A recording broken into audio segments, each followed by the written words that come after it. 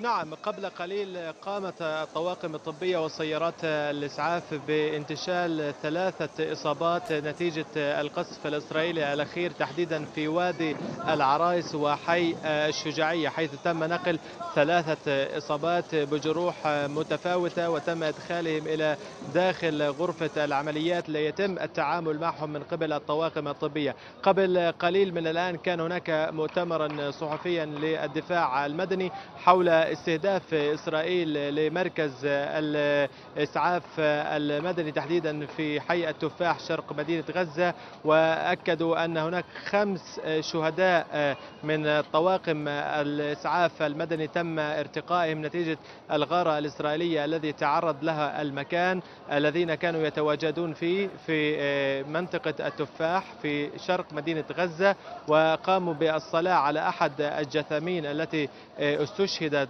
فيما بعد متأثرة بجراحها وتم تشييع هؤلاء الشهداء ونقلهم قبل قليل الصلاة عليهم من داخل ساحة مجمع الشفاء الطبي ومن ثم تم التوجه بهم إلى مواراتهم الثرى في المقابر القريبة من مدينة غزة وحيث أنتم تعلمون الاحتلال لا يسمح بدفن الشهداء في المقبرة الشرقية المتاخمة للحدود التي تفصل ما بين غزة والمستوطنات الإسرائيلية المحاذية للقطاع. شاهدنا قبل قليل هناك محاولات نقل متجددة للإصابات يتم نقلهم من غرفة إلى أخرى. كان هناك حالات نقص في عدد الأسرة والمستلزمات الطبية داخل مجمع الشفاء الطبي حيث نتيجة الغارات الإسرائيلية المكثفة على القطاع والمتواصلة ما بين وقت وآخر. هناك عدد كبير من الإصابات لم يعد الطاقم الطبي يتعامل معها. إن صح التعبير بالشكل المطلوب والمستمر والرعاية الصحية يتم التعامل مع الإصابات الطفيفة والمتوسطة بشكل عاجل وسريع ومن ثم نقلهم خارج غرفة العمليات للسماح لإصابات أخرى خطيرة للجلوس والاسترخاء على تلك الأسرة حيث اكتظت داخل الغرفة أو داخل مجمع الشفاء الطبي عدد الإصابات والشهداء. شاهدنا أيضا في الخيمة التي تم إغلاقها هناك أيضا ما يقارب خمس من الشهداء ملقون على الأرض بانتظار عوائلهم ليصلوا إليهم أو يتم التعرف عليهم من أجل تشييعهم الصلاة عليهم وتشييعهم. ولكن بشكل عام هناك استهدافات مستمرة من الطائرات الحربية الإسرائيلية على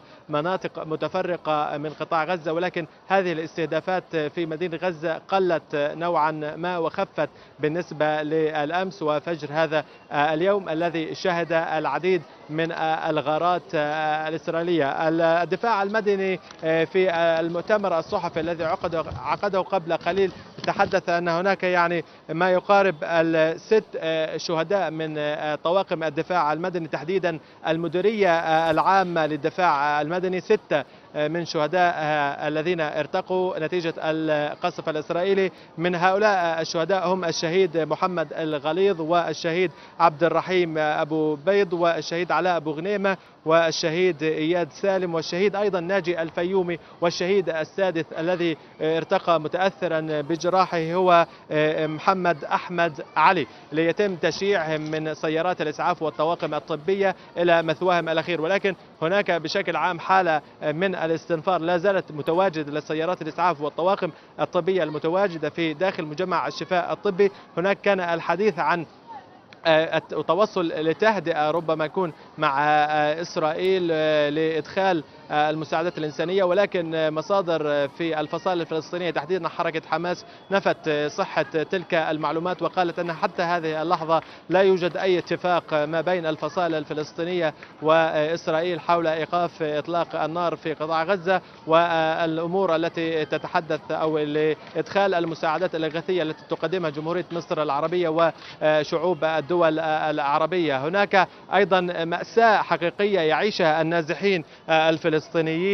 هنا في داخل مجمع الشفاء الطبي يشتكون من قلة الطعام من قلة الشراب من تناول المياه. هناك مياه ملوثة تصلهم. حتى في ساحة مجمع الشفاء الطبي كانت الصرف الصحي قام بالطفو على بعض المواطنين الذين كانوا يتواجدون في الخيام المصغرة أو في الغرف المصغرة التي شكلوها عن طريق الكرتون والحصاير والأحرمة يعني يكونوا أطفالهم بسلام وخير. ولكن هنا في مجمع الشفاء الطبي وفي المدارس التي تتبع للوكالة عشرات آلاف من المواطنين يشتكون من قلة وتوفر المواد الغذائية والمياه الصحية اللازمة لكي يطعموا أطفالهم ويطعموا نسائهم ويطالبون مرارا وتكرارا بإيقاف هذه الحرب الإسرائيلية التي تهددهم وتشكل خطرا على أبنائهم